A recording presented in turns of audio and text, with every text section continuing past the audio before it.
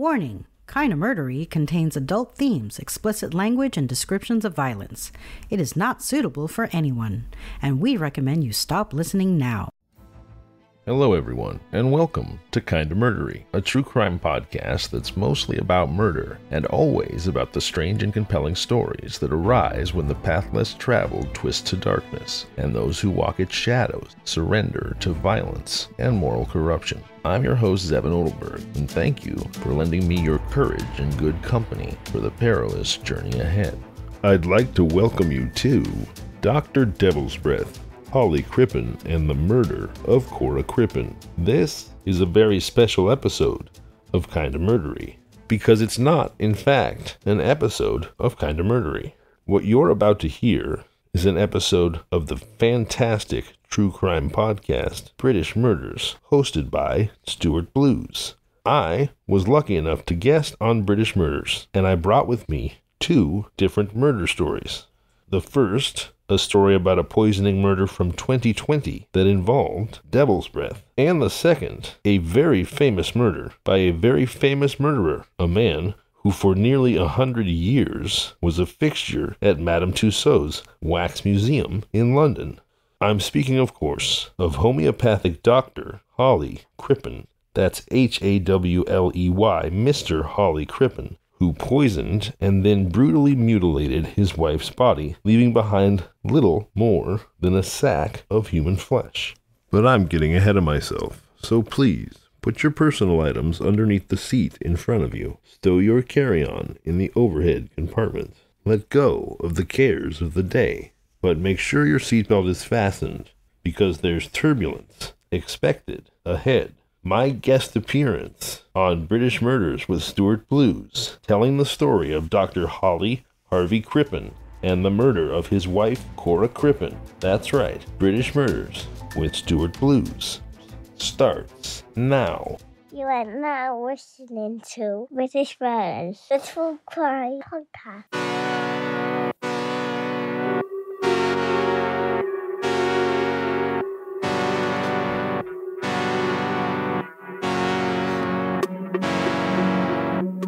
Hello, everyone, and welcome to British Murders, the podcast that focuses exclusively on British murder cases and serial killers. This week, we're kind of going transatlantic, I would say. I've got my friend Zevon Odelberg here from Kinda Murdery podcast, and I believe we're going to do some American British true crime kind of murdery story. Zevon, welcome to the show. Hey, Stuart. Thank you so much for having me. It's great to be here. And yes, Kinda Murdery, my podcast, we do tell American murder stories. Now, I'm not sure I ever made the conscious decision to not tell a murder story in another country, but so far I've only told American murder stories. I grew up very rurally. And so when I first started podcasting, my instinct was to look for stories in very rural places, of which America, with its vast expanses, is chock full of deserts and backwoods, etc. So I think I just kind of naturally fell into telling American only stories. And then, as you know, found your show and loved it and reached out to you. And now we're friends. And that's that. But yeah, I'm very excited to be here. And uh, I'm going to tell you about an American murderer who killed someone in Britain. Tell us about sort of your history and your background. How did you get into doing this kind of thing? So, I spent 15 years as a Hollywood executive working at Fox and Disney in television and film distribution, living in Los Angeles. And over the course of that time, I made various friendships in show business. And then Disney bought Fox, and I got my contract bought out, which is a proud man's way of saying I got laid off. And then right after that, the pandemic hit. So I was sitting around with nothing to do. And I have a close friend who lives in New York who's a producer, writer, director. And this was right at the time during the beginning of COVID when things were just really awful in New York. It was awful. They were stacking the bodies in the streets because the morgues were full. And so I thought of him and his family and I called him up and I was basically just to say, Are you guys okay? And he said, Yeah, we're fine. And I've started a television production company that has now suddenly become a podcast production company because that's what we can make. And without even really thinking, I said, Well, I've got an idea for a podcast because he was doing podcasts specifically and explicitly focused on crime. So I, I said to him, I've got this idea for a podcast. It's called Kinda Murdery Ghost Towns of the Mojave Desert. And you basically go through the Mojave Desert and you find these little towns, which often are sort of silver airstream meth lab hovels. And you look into the history of those towns and find out how they became the way they are today. So let's have, before we get into the story then, let's get into, because I know you're a health advocate. Right. So I have cerebral palsy, which is a, a nervous disorder that inhibits motor function as well as physical development. Uh, I'm very lucky because mine is very mild, and I've been lucky enough to have medical care that could help me become as normal as possible. That said, I've had my left side surgically rebuilt three times, and before that, I was pretty close to Quasimodo in the way in which I would get around. But then through a combination of essentially my parents, the way they chose to handle it, and the fact that I was relatively able passing, I spent most of my life in very serious denial about having CP. That was really toxic for me because what happens is if you don't admit to yourself that you have a disability, you start coming up with other reasons for why things are really difficult or why you're failing. I would be telling myself things like, you're lazy, you don't work hard enough. You I would give myself all these reasons to explain my physical difficulty that weren't the quite obvious you have a leg and a half, not two. I have a whole left leg. I don't want to mislead anybody, but to a certain extent, I'm carrying it around as opposed to kind of getting your natural energy return that most people have when they walk or run. So for me, starting to talk about disabled person issues was really a mental health evolution for myself, where I realized that I had to stop denying to myself that I had these struggles and talking about them became a way to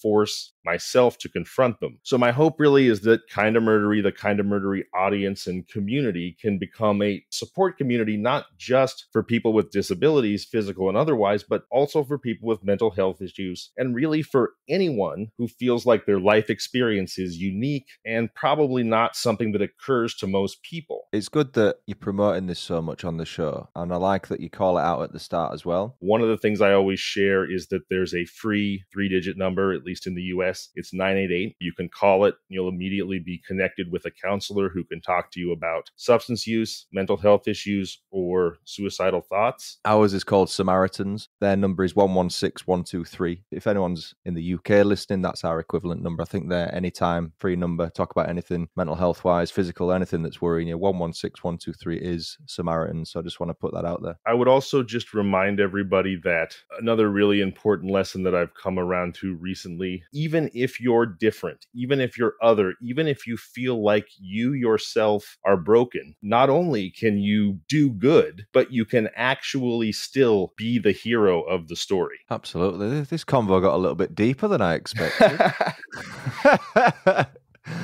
we might as well get into the story. I think now's as good a time as any now that we've got everything off our chests. So I am calling today's story Dr. Devil's Breath.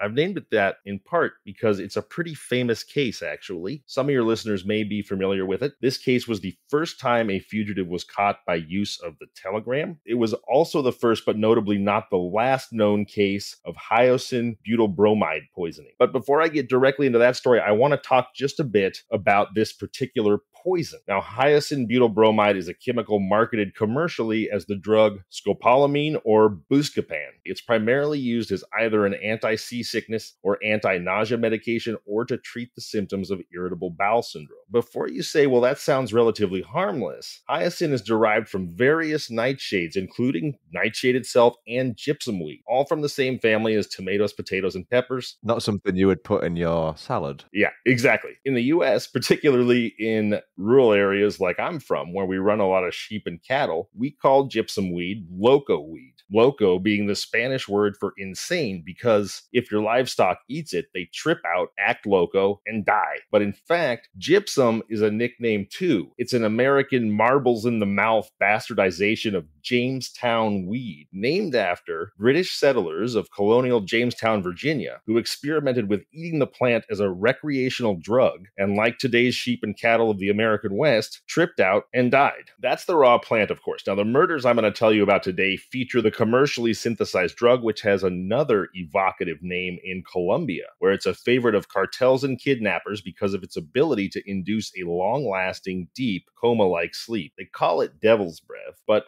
functionally, what we're talking about is the well meaning friar's sleeping potion from Romeo and Juliet here. But you take too much and you're dead. So let's get to the Devil's Breath murders, shall we? The main story I brought you today happened way back in 1910, but I'm going to open really quickly with a Devil's Breath murder from 2019. Stuart, I know recently you did the story of Stephen Port, the Grindr killer. Mm-hmm. The story I'm about to touch on here involves another Grindr killer, actually Grindr killers, that used Grindr to find stock and murder their victims. They were a killer couple. I'm going to take a quick dive into a very recent killer couple story from 2019 that shares key themes with our upcoming Dr. Devil's Breath story and demonstrates the continued relevance of hyacinth poisoning. And when I say it shares key themes, it's hyacinth poisoning, killer couples, and something of a love triangle. So look out for those three things in both stories. Our killer couple in this 2019 murder story are 25 year old Joel Osei and his girlfriend Diana Cristea, 19. These are British killers, by the way. This Oh, is a thank you. British murder story. So kind. Osei, Joel Osei, referred to Cristea as his Romanian goddess wife. They killed in 2019 and were convicted in 2020 of murdering Irish dance champion Adrian Murphy and poisoning another man whose identity remained confidential with, you guessed it, devil's breath. Diana Cristea knew all about Joel Osei's murderous ways. She kept in touch with him the entire time he was in his victim's flats. She told him, ask for the Wi Fi once you get there, and she messaged him during, probably before the murdering, but during one of these murderous escapades. She wrote to him, I love you, my weird little satanic wizard. A nice pet name there. Yeah, my weird little satanic wizard. Osei targeted his first victim using the fake name Remy on the dating app Grindr. He went to his victim's flat in Walthamstow. You'll have to tell me how I'm supposed to say that. Might be Walthamstow, I would have Yeah, thought. probably. Us Americans don't know how to speak English good. We Stow. me no speak English good.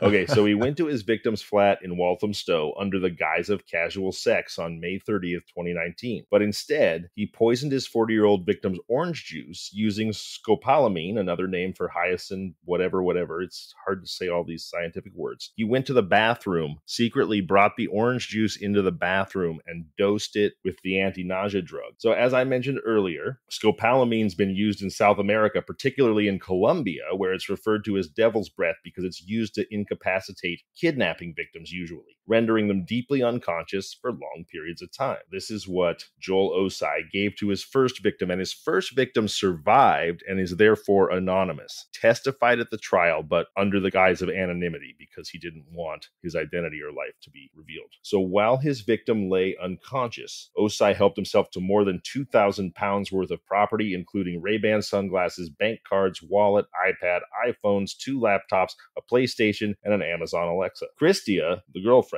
later put many of these items up for sale on, and this is the first time I learned about this particular website. It's called Shpock, Shpock, which yeah. I was previously unfamiliar with, but I now understand to be like a British eBay. Kind of. It's because eBay charges so many fees. Mm. It's like Facebook Marketplace. I would compare it to that. You don't pay fees and stuff, but it's also not as regulated, I suppose, as eBay. So yeah, they put all the stuff up for sale on Shpock. Now, Osei's first victim, as I mentioned, was discovered by a neighbor that evening, taken to the hospital and survived. Two days later, Joel Osei used Grindr to strike again, but this time with fatal consequences for his second victim, Irish dance champion Adrian Murphy. Having exchanged details with Osei on Grindr, Mr. Murphy invited him to the apartment block in Battersea, where he had been staying on June 1st of 2019. Using scopolamine, Osei poisoned the Coca-Cola Mr. Murphy was drinking, then went on to steal more than again 2,000 pounds worth of goods from the flat, including a Louis Vuitton wallet. The following day, by which time Mr. Murphy had died, the defendants, well, Osei and his girlfriend, the murderers, created a PayPal account in Murphy's name and tried to buy diamonds worth $80,000 from a jeweler in New York. Mr. Murphy's bank cards were also used on two occasions to order food from Deliveroo. So Cristea, the 19 year old girlfriend, put some of these stolen items up for sale online, and on Shpock she wrote, brand new Gasper Louis Vuitton wallet comes in a gift bag. And then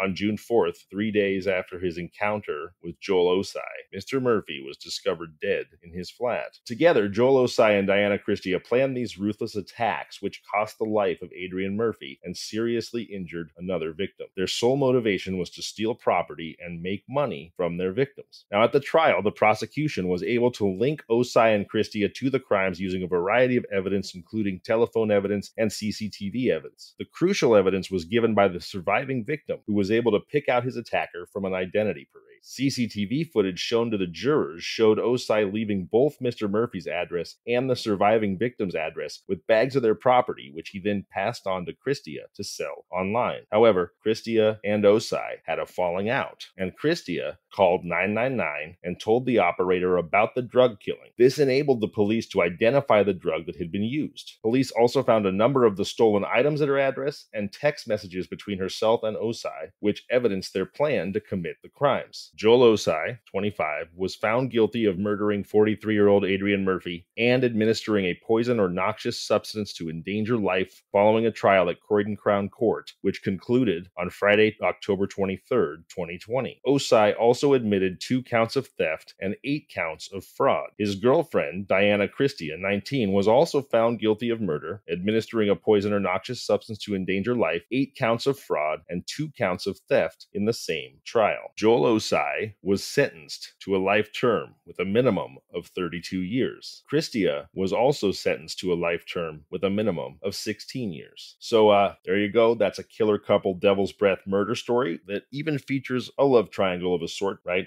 And those are all components of the main story as well. Now let's talk about the very first recorded case of murder by hyacinth butyl bromide or devil's breath. This is a story and a murderer that I'm calling Dr. Devil's Breath, but who is better known by his real name, Dr. Hawley Harvey Crippen, a killer whose heinous mutilation of his wife's body turned him into an infamous national celebrity. So famous, or notorious, in fact, that his waxwork stood in Madame Tussauds Chamber of Horrors in London, as did his actual spectacles, until the Chamber of Horror closed in 2016 to be replaced by some Sherlock Holmes themed exhibit, which is a weak choice by Madame Tussauds, if you ask me. That's disappointing. Not that I want to, you know, see his actual glasses, but that would have been cool. I've never been to the London one. The story will continue after these quick messages. And now, back to the story. Is this a name you've heard before, Stuart? I think I've heard it before. I don't know if that's because of our conversations or I've probably stumbled across him at some point. So I had not heard it before, before discovering the story. And my research led me to believe that he was so famous in Britain, in part because he has a distant family member in America who, whenever he visits London, gets the stink eye from customs. And they make some comment about, oh, you're part of the murder family.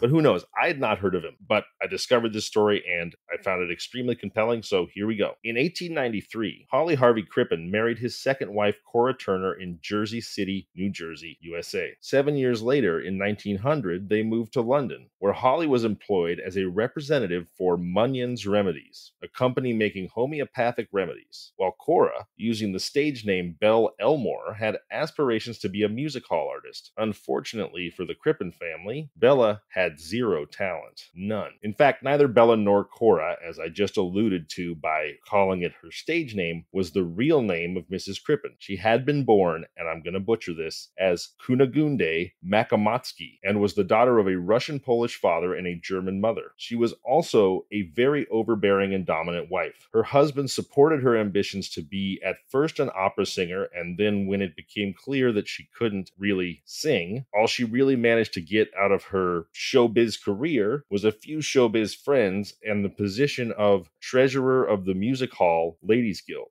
in London. So we know from the outset that they went to London to pursue Cora's dreams or Bella's dreams, depending on which name you choose, of being first an opera star, which of course takes a tremendous amount of talent, and then essentially a British vaudeville star, which also takes a tremendous amount of talent. And she could do neither, which means that we're dealing really with a bitterly disappointed woman who has been reduced to keeping financial notes for the local club of all the ladies who actually can do the things that she wants to do. Oh, that must be hard. I would think that that would create a deep degree of unhappiness, one for which I have a fair amount of empathy. But that's where they are. That's what's going on with the family. So in September 1905, Dr. Crippen and his wife took a lease on 39 Hilldrop Crescent in Holloway. Part of the thinking behind this move to a new house was that they could now have separate bedrooms. According to Dr. Crippen, Belle or Cora had never really been a sexual person, and according to what he would later say, all physical relations between them had ceased by 1907. Now remember, the murder occurred in 1910. Crippen, meanwhile, had fallen in love. The object of Dr. Crippen's desire was Ethel LeNave, a typist who worked for him. At about the same time that Crippen and Belle stopped having relations, Crippen and Ethel became lovers, and that situation continued from 1907 to 1910, the very dawn of 1910. Because on the evening of Monday, January 31st, 1910, the Crippens threw a dinner party for two close friends of Belle's, Paul and Clara Martinetti. The meal passed pleasantly enough, except for one incident. Paul Martinetti asked to use the toilet, and when Crippen didn't escort him upstairs to show him where it was, Belle viciously berated him. Belle was furious with Hawley Harvey Crippen for not walking Mr. Martinetti to the loo. By the time the Martinettis finally left, it was around 1 a.m. on Monday, February 1st, and it would be the last time that anyone saw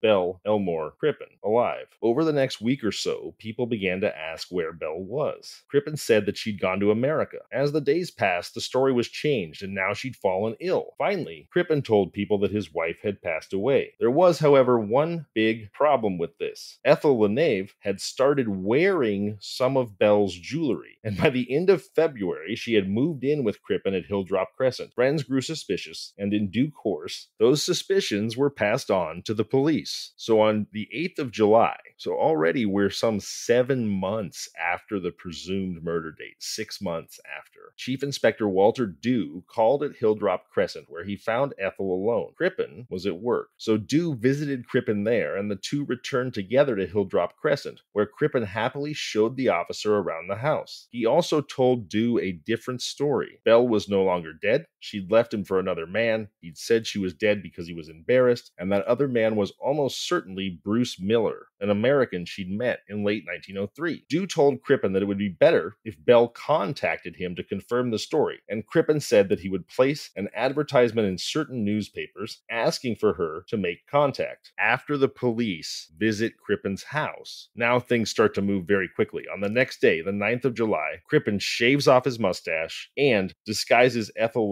As a boy. They traveled to Brussels. There in Brussels, they bought tickets for passage to Canada and then traveled to Antwerp to board the ship, the SS Montrose, for the voyage to Canada, traveling as father and son. At about the same time, Chief Inspector Dew returned to Hilldrop Crescent. He was surprised to find Crippen and Ethel missing and decided to make another routine search of the house. In the cellar, he noticed some loose bricks in the floor. Officers were ordered in to make a more thorough search, and beneath those bricks, they found the remains of a body. The body was headless, limbless, and boneless. Little more, really, than a pile of flesh, but it was female, and the chief inspector knew that it was time to find Crippen. Aboard the Montrose, the father and son were watched with interest. They seemed to be unduly affectionate and were constantly holding hands. Added to that, the boy's clothing was very ill fitting. Captain Kendall had his suspicions and he telegraphed a message to Scotland Yard. Dew, now determined to intercept the father and son, boarded a faster ship, the SS Laurentic, and the hunt was on. On Sunday, July 31st, Dew and the officers boarded the Montrose as it sailed up the St. Lawrence. The father and son were identified as Crippen and Ethel LeNave. Both were arrested and after three weeks were escorted back to England to face trial. On his arrest, Crippen reportedly told Chief Inspector Dew, I'm not sorry. The anxiety has been too much. It was decided that the pair should not be tried together. Crippen would face his trial first, and once that verdict had been determined, Ethel LeNave would take her turn in the dock to be tried as an accessory. So it was that on the 18th of October, Crippen stood alone in the dock at the Old Bailey before the Lord Chief Justice of England, Lord Alverstone. The proceedings would last until the 22nd, which is just four days, relatively meager trial length for such a serious crime. Crippen's defense was simple. The body found in the cellar of his home was not Belle's. The body must have been some poor unknown woman and been placed there before he and Belle had moved in. It was, therefore, crucial to the prosecution to prove that the body was Belle's. One piece of the flesh found in the shallow grave had borne a scar scar, and medical records showed that Belle had such a scar on her lower abdomen. More conclusive was the fact that the remains had been wrapped in a pajama jacket, and a tag inside that jacket led to the manufacturers, Jones Brothers. They confirmed that this particular cloth and pattern was not issued until late 1908, proving that the body must have been placed there after that date. This and the scar was consistent with the body being of Belle Elmore. Not to stick up for Crippen too hard here, but he didn't allegedly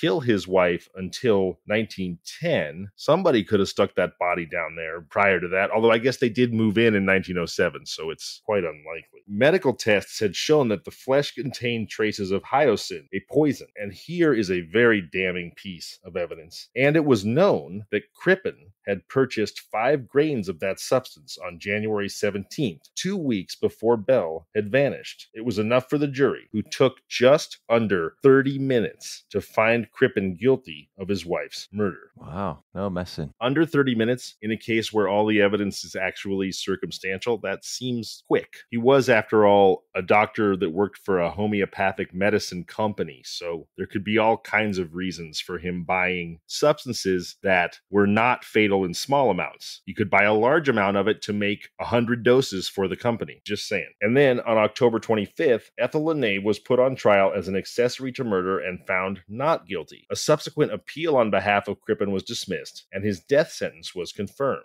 Less than a month later, on Wednesday, November 23rd, 1910, 48 year old Crippen was hanged at Pentonville by John Ellis and William Willis. Crippen's last request had been for a photograph of Ethel and some of her letters to be buried with him in his unmarked grave. That request was granted. Between the alleged confession of Chief Inspector Drew, the scar, the death by poisoning, the poison that Crippen was known to have purchased shortly before his wife's death, the same poison that killed her, and the transatlantic flight with his mistress, the case against Harvey Crippen seems pretty open and shut, right? Wouldn't you say, Stuart? I would say I'd probably have thought he's guilty, yeah. It seems clear cut, but not everyone, even today, thinks so. Notably, a distant relative of Crippen, a James Patrick Crippen of Ohio. That's Ohio, USA. He's the second cousin, three times removed, of Dr. Hawley Crippen. He hopes to officially exonerate the black sheep of the family and bring his remains back to the family plot in Michigan for a decent burial. The evidence says the man should be pardoned, he says, but everyone thinks of him as a murderer. Every time I go through customs in England, someone's made a comment about my name, linking me to the murderer. The torso was identified as Cora Crippen's by a scar. The doctor was shown to have bought a large amount of the drug that killed her, this we know. But could it all have been a huge miscarriage of justice? Was Crippen innocent after all? A growing body of people believe so, including the family member just mentioned and forensic scientists. There is, in fact, a campaign underway to clear his name. One line of evidence comes from John Trestrail, a toxicologist who has long puzzled over the mutilation of the corpse. The remains found were a torso without bones or sex organs. Mutilation is an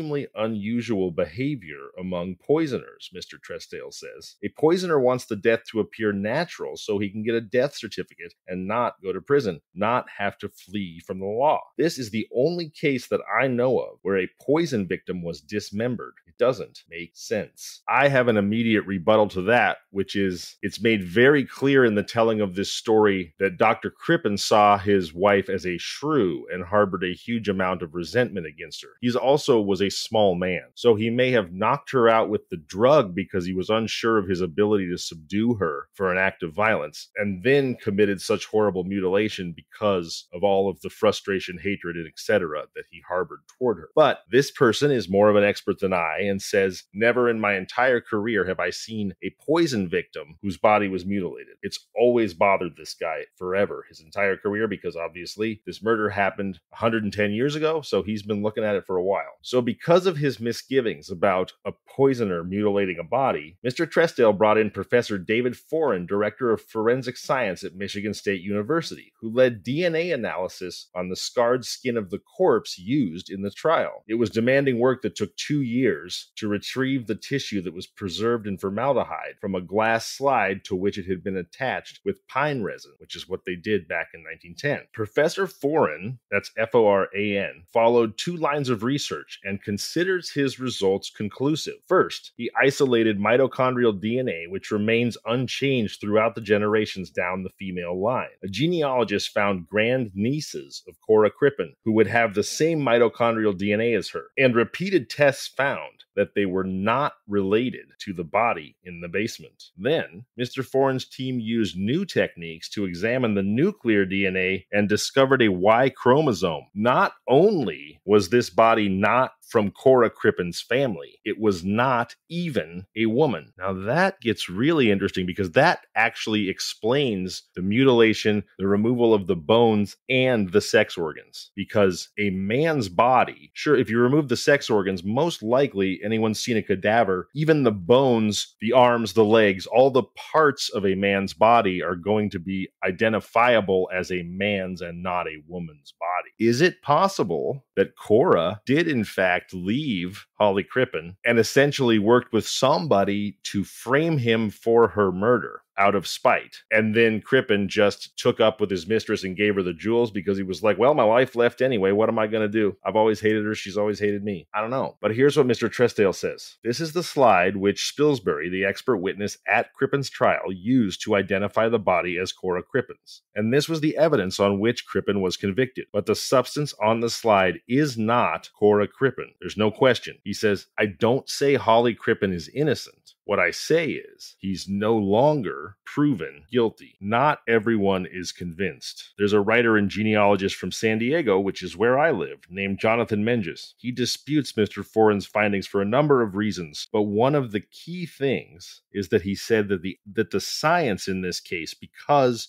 Crippen is such a famous figure, was done with too much of an eye for showbiz. It turns out that the nuclear DNA findings that Trestrail finds conclusive were first revealed on a TV documentary, and he points out that they have not yet been published or peer reviewed. He says Crippen's behavior demonstrates his guilt, and that now there's a group in Salt Lake City, Utah, who are investigating the mysterious disappearance of Crippen's first wife. Added to everything else, it now turns out that Crippen's first wife mysteriously disappeared. Of course, the scientist says it's gonna be published in a peer reviewed journal, it just hasn't been yet. So there's some back and forth among experts, each of whom has a vested financial interest in being correct. One of them wrote a book about how guilty he was. The other one did groundbreaking DNA re- research that found him to be no longer proven guilty. So believe what you want. He seems pretty darn guilty to me. On the flip side, the guy that did the DNA research is a professor at Michigan State University. It's a well regarded university. It's a little bit hard to believe that somebody in that position would just kind of cowboy their way through something this important. So there's a bit of a question mark here at the end. So if he was peer reviewed, and let's say categorically was found not to have been the murderer that he was convicted of being and ultimately killed for. Is there any way of recovering from that as that wrongly convicted person? I don't know. I mean, I, I, there must be situations where that has happened. I can't give you a specific example. I know I've seen headlines before about somebody or the other being released from prison because the DNA science didn't exist when they were convicted and now they're being let go. I think the realities of being incarcerated make it pretty hard to reacclimate even if you were always innocent. And as far as your reputation recovering, whew, I do think it's an interesting distinction, though, that what the science proves if it is indeed correct, is that that was not Cora's body. It does not necessarily prove that Hawley Crippen didn't murder Cora. Maybe that was the body of her lover that he killed and dismembered in a jealous rage, and he just hid her body better. He may still be guilty of the murder, even if that is not Cora. That was the scientist's point saying, I'm not saying he's innocent, I'm just saying he's no longer proven guilty. Just perhaps a, a distinction without a difference, but perhaps not. And that is the story of Dr. Devil devil's breath. I love it. I love the story. I love how you tell it. It's just so I don't know. You hook me and you, you've got a real way with words, in my opinion. I think you're a good storyteller. That's why I like your show. That's why I like you. I hope you all enjoyed that as a listener. It was sort of a hybrid of an American British case, but you also got a dedicated British teaser case at the start there, more modern one to wet the whistle, as it were. But what I would like you to do is to check out Zevon Odelberg on Kinda Murdery. Check him out Spotify, Apple, all your good podcast platforms. Give them a review. get in touch on Instagram. You're on TikTok now, right? Yeah, I'm on TikTok, Facebook, Instagram, all of it. At Kinda Murdery on each one. At kind of murder, not at kind of, kinda, K I N D A, murdery, kinda murdery. Get involved. I know you're active on all of those. If you want to speak to him, hit him up. Remember the stuff we said at the start. If you're struggling with mental health, disabilities, anything you want to speak to, we've both given the numbers and you could reach out to either of us as well if you want to speak to us. But it's been a pleasure and thanks for your time, Evan. Any closing statements you'd like to make? No, thank you so much for having me, for giving me an opportunity to introduce myself to your audience, and I've just had a great time, Stuart. I always enjoy getting to hang out with you. I know it's late there in England. I appreciate you staying wide awake for my benefit. All I have to say is thank you, and thank you to your listeners for taking the time to listen, hear me out as well. No worries. Now, we always end the show by saying cheerio, and I want to give you the opportunity to say, until next time, cheerio. Can you do that for me? That's a big responsibility, but yeah, let me, I'll do that. Until next time, cheerio! You've just heard British Murders with Stuart Blues. Please make a point of finding British Murders on whatever podcaster you use. Subscribe, follow, and start listening. Stuart is a wonderful storyteller, and it's always a pleasure to spend time with him. For Stuart Blues and British Murders Podcast, I'm Zevon Odelberg, and this has been Kinda Murdery.